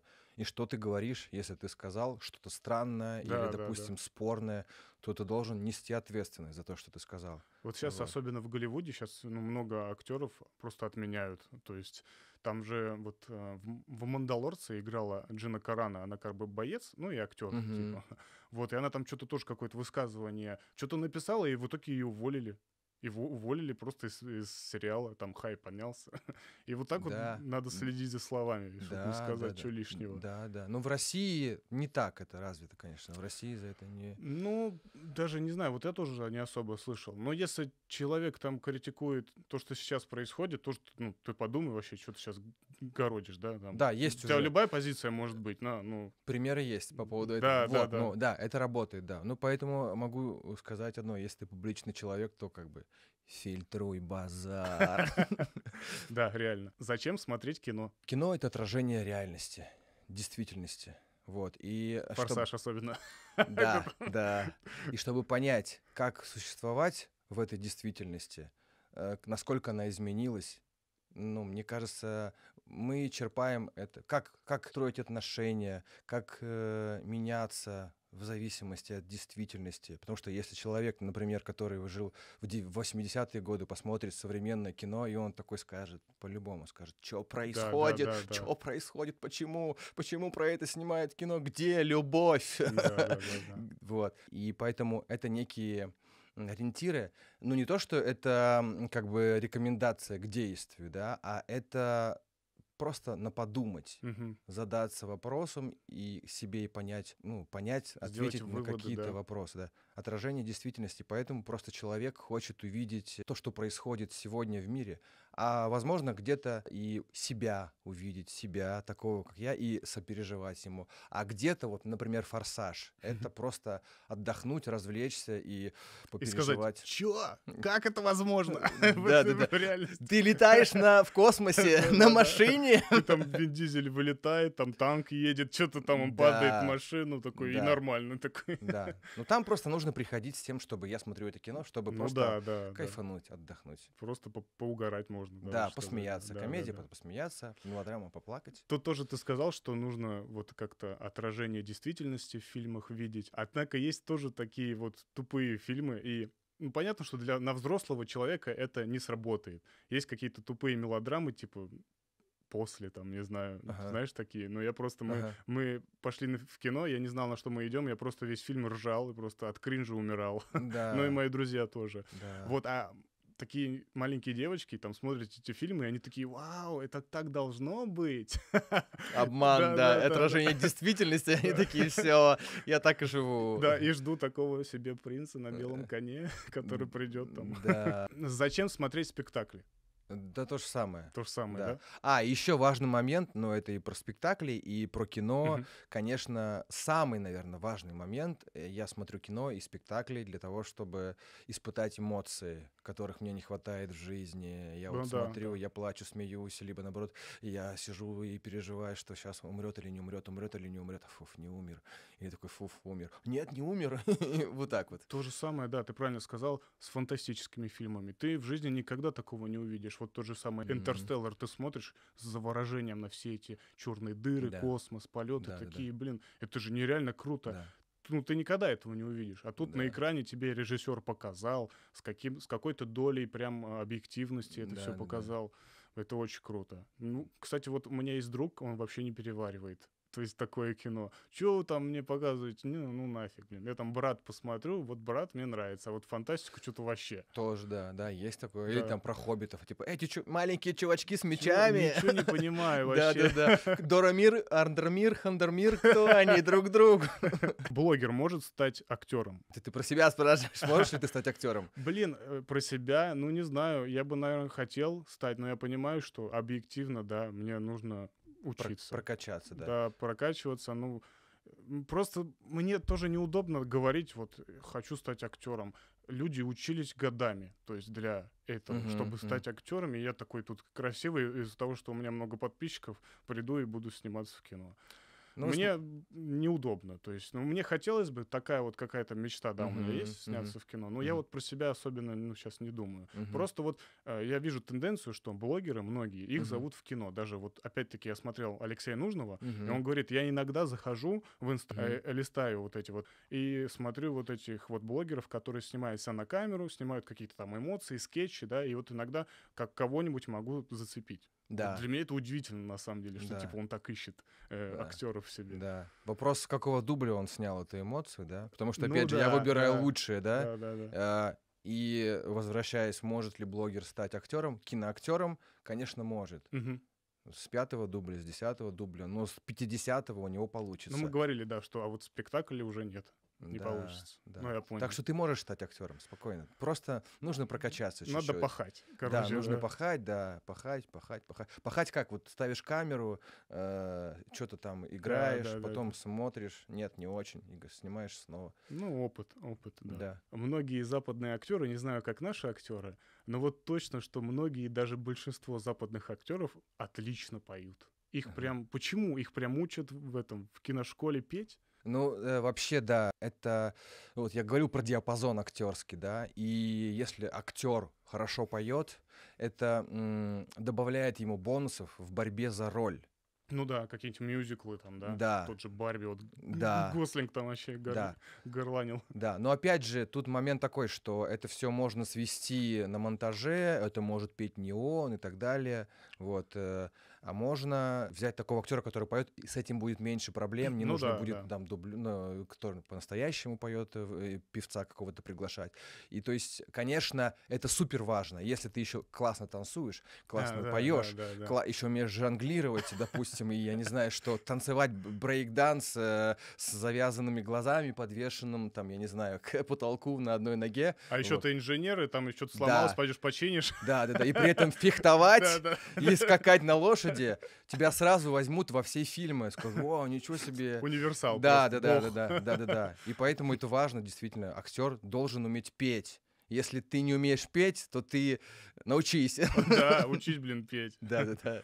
Сколько денег надо, чтобы снять кино? Я думаю, что если... а Тоже опять смотря какая, смотря какая кино. Смотря какое кино. Смотря какое кино. Если это для домашней как бы радости, да, для родителей, там, можешь снять за бесплатно, да? Ну да. Да. А если ты делаешь фильм с целью э, послать его на фестиваль, то сразу закладывай туда м, аренда оборудования. Это самая, э, как бы самая дорогостоящая статья. А вот давай по минимуму возьмем, сколько нужно. Ну вот примерно. смотри, э, я, допустим, просчитал, э, я написал сценарий с короткометражки, я хочу быть режиссером, и я э, надеюсь, что мне удастся снять этот фильм. Э, У меня э, 17 страниц, каждая страница — это э, одна минута времени э, фильма. Мы посчитали, что где-то э, потребуется по минималке 17, 17 минут фильма, короткометражка наша будет стоить э, миллион семьсот. Ни хрена, блин. Представляешь, это да? с арендой оборудования? Да, это с Ага. арендой оборудования, но это еще так, э, очень, как сказать, очень по изи, да? Вот. Там экономим, на актерах экономим, на локи- локации экономим, там и так далее. Мы за бесплатно, как режиссер, сценарист, То работаем. есть вы, получается, с этой короткометражки ничего не получаете? А, Нет, получаем с, Признание. корот- с короткометражки мы получаем, э, если это на фестивале, Да. то мы можем как заявиться, да. Ага. Вот. Если полный метр, ну там можно продать на платформу, Да. либо там можно как-то купить там на телевидение, в, ки- в кино, прокат, там это можно отбить. То есть здесь вот, да, возвращаясь к короткометражке, 17 страниц, миллион семьсот, одна минута стоит э, 100 тысяч. Ну и вот, рассчитывай, если хочешь снять нормальное кино, но сейчас, наверное, даже подороже уже. Ну, где-то 100 одна минута, рассчитывай, сколько у тебя сценария, одна страница сценария, одна минута, соответственно, одна минута 150 тысяч. Охренеть. Вот и рассчитывай, сколько твой фильм идет. Короче, не буду я режиссером. А, Длинный вопрос, я его зачитаю, потому что, наверное, не запомню. Если сценарий пишет сценарист, снимает оператор, актер играет, а, одевает костюмер, то что режиссер делает вообще на площадке? Режиссер чилит, э, сидит такой, ребята, я здесь режиссер. Пивандри попивает. Да, да, да, да, да, да, Коктейль. Ну, в принципе, все, вот и ответ. Но режиссер работает с актерами. Главная функция, находясь на площадке. Понятно, что э, большинство режиссеров лезут вообще во ве- весь процесс, да, начиная от э, подготовки к съемкам, заканчивая постпродакшн. То есть они э, видение, вот он говорит, видение режиссера. Они А, Можно сказать, что а, а, режиссер все, что делают а, остальные, он согласовывает это. Ну да, он говорит да или нет. Да, нет, вот так вот. Нет, нет. Не подходит. Да, но в частности вот на площадке он работает с актерами. Все. Он разбирает сцену, он репетирует, он говорит актеру, что ты здесь хочешь, какие у тебя препятствия. Ну, короче, если там костюмеры сделали какие-то костюмы, и режиссер считает, что они не подходят, он такой, нет, давайте другой, да, ну, образно говоря. Да, Интересный вопрос, достаточно глупый. Может работать два режиссера над одним проектом? да, может, конечно. Да? Да, братья Коэн работают. Коэн. Коэн. Братья Вачовски, Вачо уже сестры. уже сестры Вачовски. Работает? Работает. Так. Вот. Ну вот яркий пример. А ты когда-нибудь работал с двумя? Ну, то есть ты и какой-нибудь еще режиссер. Э, ну нет, это именно должны быть братья. А, да? Реально? Или- Либо сестры. Да-да-да. Слушай, а другой посторонний человек реально не подойдет? Это же нужно спеться с ним, да. А если вот я, например, с этим человеком живу, там, с трехлетнего возраста, то я с ним, э, вероятнее всего, спи- и Ну да, делаю да. один фильм, я с ним спелся. То есть это нужно знать человека, да, чтобы у вас были общие какие-то взгляды на жизнь, взгляды на кино. да? конечно, конечно, только так. Ну, это будет скандал, это будет борьба за лидерство, э, если с кем-то параллельно еще делать фильм. Ну, кстати, сериалы так, по-моему, и снимают большие, которые вот 150 миллионов серий, вот, потому что там надо снимать контент быстрее, быстрее, быстрее, и там прям по эпизодам они даже не понимают, что было до, эти снимают этот эпизод, эти эпизоды, эти снимают эти эпизоды, там такое есть. Слушай, даже вот э, «Одни из нас» сериал, да, Мгм. насколько я знаю, там над одной серией работал даже наш этот Кантемир Балагов, но что-то у них там не срослось. Да, да, да, да. То есть да. там каждая серия вроде, ну, примерно, да, каждую серию снимает отдельный режиссер, то есть работает над ней. Ну да, но это вот в процессе, это как бы в э, такое есть, когда ты снимаешь по серии, да, в сериале, но все равно на площадке ты один как режиссер, Мгм. вот, и ты снимаешь эту серию, ну, понимаешь, да? Да, А не да. то, что типа мы вдвоем сидим такие, «М, кто? Я и он, и мы такие, Такой, типа, надо сделать так. Он говорит, нет, надо сделать так, надо Ты- сделать так. ты тут убьешь его, нет, ты его не убьешь, ты чуть-чуть его придушишь. Кто важнее всех на съемочной площадке? Актер, Актер, да? конечно. Ага. Не будет актера, что будем показывать? Природу, кустики? Я думал, ты сейчас скажешь или режиссер, или режиссер-постановщик, например. Нет. Понял, интересно. Актер, актер. Кто такой второй режиссер? Второй режиссер — это тот человек, который... Это руки режиссера, и он отвечает за планирование, за организацию процесса съемок. То есть кто когда приехал, хр- там хронометраж, э, все на месте, эту сцену сняли, он все контролирует, эти пришли, эти ушли, там декорации такие стоят, э, реквизит такой-то, такой-то. Короче, правая рука э, режиссера основного, да? Мгм. Да, да, да, потому что тоже у меня был такой опыт, э, когда я делал фильм, и я был и второй режиссер, и первый режиссер, и ты понимаешь, что просто сил поработать, если ты занимаешься вот этими организационными делами, еще плюс время, надо, надо быстрее, быстрее, быстрее, у тебя сил поработать над э, с актерами, самое главное, у тебя просто нету, Мгм. вот. Понятно. Ну, короче, я понял, чем примерно да, Это занимается. очень важный человек, Мгм. но не важнее, чем актеры. Понял. Он второй по важности. да? Да. Ты смотришь супергеройское кино. Да, я смотрю супергеройское кино, и последний фильм, который я посмотрел, супергеройский, это «Стражи Галактики», последняя Третий, да. часть, да. Понравились? Э, Да, понравились. И вообще мне нравится супергеройское кино, когда там присутствует ирония. Ну, потому Да. что про супергероев... Дэдпул, например. Да, но там а, вот именно вот там вот эта тема, что они настаивают на этой иронии. Ага. Вот. И какой-то момент ты уже такой, ну понятно, сейчас он будет такой шутить, А. такой ясно, все. И уже м, это не вызывает те эмоции, которые вот, например, в Стражах Галактики, когда Неожиданно. Не, не- неожиданно, да, мгм. и они обсмеивают саму ситуацию, то есть вроде как все пафосно такие, Да, да, да, приземлились да, на да. планету, что-то разговаривают, ты умерла, так далее, да, я не умерла. И потом, ребят, мы слышим ваш разговор, хоп, и все обнуляет. Вот, Да, вот да, да, такие штуки да, сценарные, да, такие ходы. Вот э, ради них я смотрю, э, вот Стражи Галактики. Например, Бэтмена я не смотрю, потому что тяжелый. И они ничем не разбавляют. Там нет юмора. Тяжелый сериал, о, тяжелый фильм. Последний с Паттинсоном, который, да? Да, да, Мгм. да, да, да. И там тоже настаивают вот на этой мрачности и так далее. Да, да, да. Хотя вот самый крутой фильм про Бэтмена, да, это Темный рыцарь. Ну э, да, да. да. Кристофера Как по мне тоже, да. Да, Хотя да, мне и Аффлек нравится, и в какой-то степени Паттинсон нравится. Ну, Просто они очень разные. То есть Да. герои, да. тоже э, в чем суть? Э, не было бы Джокера в Темном рыцаре, мне кажется, фильм бы был бы совсем другой. Да, да, да. Хит Леджер там зарешал. Да, Ну и да. в принципе там злодеи такие все Да-да-да. очень фактурные, очень интересные, харизматичные. Да. Э, Режиссер и режиссер-постановщик «Заклятые враги». Э, Нет, это знаешь как? Это эго и альтер-эго. Вот сейчас во мне включился режиссер-постановщик. А вот сейчас я режиссер. Ну, короче, они схлестываются нас во время съемок у них. Да Или вообще, э, мне кажется, это один и тот же человек.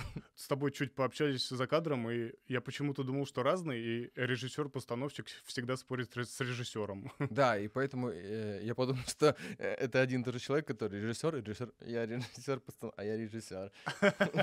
Это как два, чел- два режиссера, в общем, да. Есть второй режиссер, Но это другой человек. да, д- другой человек. Так же, как художник-постановщик, иногда художника называют художником-постановщиком. Один и тот же человек. Режиссер-постановщик и режиссер. То есть это один и тот же человек. Да, да. Сейчас я это осмыслю. Один и тот же человек. Ага, ага, один, понял. Да, да, да. Хотел бы снять фильм в Голливуде. Конечно, хотел бы. Да. Я же сказал, форсаж. Где А, мой форсаж? Точно. Какая? Пятнадцатая часть. Я готов. э, Да, все, пишите, звоните, Да, пожалуйста. пишите, пятнадцатая часть. Но вообще, это действительно большая ответственность. И э, вот в данный момент э, я бы хотел, но очень страшно. Большая ответственность. Конечно. Да. Там просто там сотни человек. Э, Вот те, кто выходит на площадку в Голливуде, они просто отвечают за какое-то огромное... Если они подведут, это будет, ну, все, это точка в твоей карьере. И к этому нужно подойти, так же, как и постепенно ты вырастаешь, Ну э, да, как да, режиссер да. снимаешь короткометражки, потом чуть побольше, потом полный метр, а потом сериалы, потому что это огромная дистанция. Ну, так вот по жизни, да, это все работает, в принципе. Да. Потому что я вот вчера ездил на съемки на канал «Дважды два». Мгм. Я никогда в жизни не подумал бы, что я смогу выйти. Вот там тоже такая, там зеленка, типа Мгм. огромная Да, студия. Да, да. Выйти, еще и хорошо сказать там все, и хорошо себя показать. Но это все я к этому шел, вот и долго-долго-долго. Вот Да. сначала одно, потом другое. Сейчас еще подкасты записываю. Да. То есть Да. так же и там, ну, я понял. Это как бы финальная стадия. Ага. Снимать кино в Голливуде — это вершина. Тот же Балагов, он же тоже какие-то премии, э, номинирует его на премии какие-то, на Ну да. Каннский кинофестиваль, по-моему, да? Да, да, да. С дылдой, по-моему, там Да, да, да, да. получил. Да, да, да. Ну, тоже постепенно шел, да, Да, да, постепенно. да, да. Толерантность в западном кинематографе. Хорошо? Плохо? Как относишься? Наш кинематограф — это западный кинематограф или нет? Не понял. Ну, то есть мы наш относим кинематограф к западному кинематографу? Наверное, нет. Давай отделим. Все, хорошо. Толерантность в западном кинематографе э, это хорошо, потому что он же, опять же, мы же говорили про то, что кинематограф говорит про сегодняшний день, да, и, соответственно, э, если э, кинематограф толерантен, то он берет темы, которые актуальны сегодня. Мгм. Они могут быть актуальны в одной стране, да, могут в регионе быть актуальны, могут там во всем мире, вот. И толерантность, она способствует расширению тем. Я прорабатываю, допустим, феминистическую, допустим, какую-то тему, да, и я рассматриваю вот эту, да, историю. А Я, допустим, какую-то тему там про священников, например, которые меня очень волнуют, прорабатываю. И я э, туда, я иду в какую-то религию, да, и э, рассма- открываю эту тему, раскрываю тем, эту, эту тему в кино, в своем кино. Вот. И мне кажется, она, ну, позволяет как новые соки, новые, э, новые точки зрения на какие-то вопросы, которые раньше мы даже не задумывались, что про них можно разговаривать в Мгм. кино. Поэтому она необходима, толерантность. Но без, конечно, без каких-то перегибов, Мгм. без злоупотреблений. Согласен с тобой. Ну, тоже вот ты с такой позиции. Вот интересно, когда ты говоришь не просто со зрителем, да, а вот когда говоришь с человеком, который занимается непосредственно этим, и вот ты открываешь с другой стороны этот вопрос. Были ли драки на съемочной площадке или какие-нибудь другие случаи, например, много ругани там, или кто-то сильно повздорил друг с другом? У меня не было, в моей практике Мгм. не было. Вот. Тут тоже такая штука, что э, вот, а, в частности кино, э, и там больше это репутация, вопрос репутации много решает э, того, как ты ведешь себя на сцене, на площадке, на, сцене, на, э, ну, на этой, э, на съемочной площадке, Да, да. на этой, как ее там, да-да-да, вот, на лежанке. И то есть, если, ну, представляешь, да, я такой, вдруг мне что-то не понравилось, я такой начинаю орать или драться с кем-то, Да. то те люди, которые вокруг, они такие, блин, это жесть. Ну да, скажем да, да. своему боссу, мы больше не будем звать его там в осветители, или там, например, скажем своему, скажем его агенту, и больше не будем с ним работать в кино, не, при- не будем приглашать Ага. его в нашу историю, да. Надо думать, да, если ты пош- пришел пьяный, там, Ой, допустим, да, да, с да. кем-то подрался, то про тебя будут говорить в кругах и с тобой будут не связываться, да.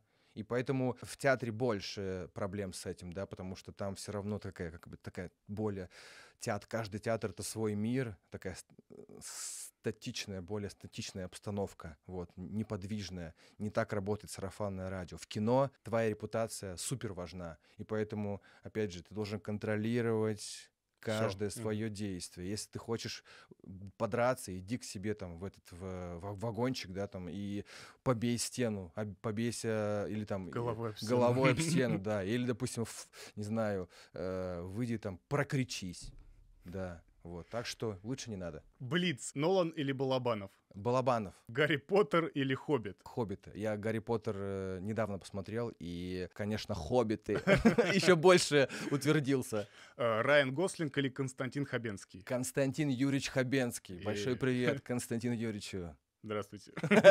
Тарковский великий режиссер. Был бы великим, если бы не сжигал животных э, не убивал животных в своих фильмах. Это Ой, реальный факт. Офигеть, я не знал. Да-да-да. Э, Много убил. Непростительно. Поджег корову во время Андрея Рублева, съемок Андрея Рублева. Блин, офигеть. Есть прям кадр, можете вбить в Ютубе, там действительно есть ужасно, кадр. ужасно. Ну, они оправдываются, говорят, там чем-то была обработана корова и так далее. Нифига подобного, я в это не верю.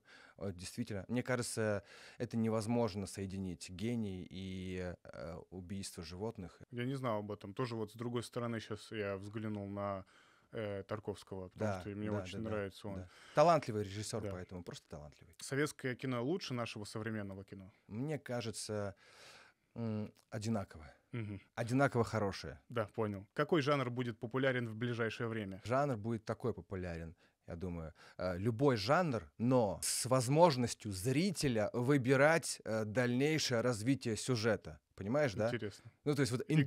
интерактивный. Мгм. Да, интерактивный. а Интересно. эт- Этот выбирает это, этот выбирает это. И вот он как бы сам становится создателем жанра. «Брат» заслуженно культовый фильм в нашей стране? Да, заслуженно, потому что там есть герой, герой времени. 100 миллионов долларов или снять хорошее кино Снять хорошее кино, потому что хорошее кино останется навсегда. в истории? Да. Ага. Бурунов или Ди Каприо? Конечно же, Ди Каприо. И мне кажется, Бурунов э, сам понимает, что если говорить про дубляж, то это Бурунов. Если говорить про актеров, то, конечно, это Ди Каприо. Ну что, друзья, кому понравился этот подкаст, обязательно ставьте лайки, пишите комментарии, подписывайтесь обязательно на нашего гостя. Все ссылки будут в описании. Также подписывайтесь на мои соцсети. С вами был Илья, автор канала Кинопес и... Э, Константин Денискин, режиссер. и всем пока, до скорых встреч. Пока-пока-пока.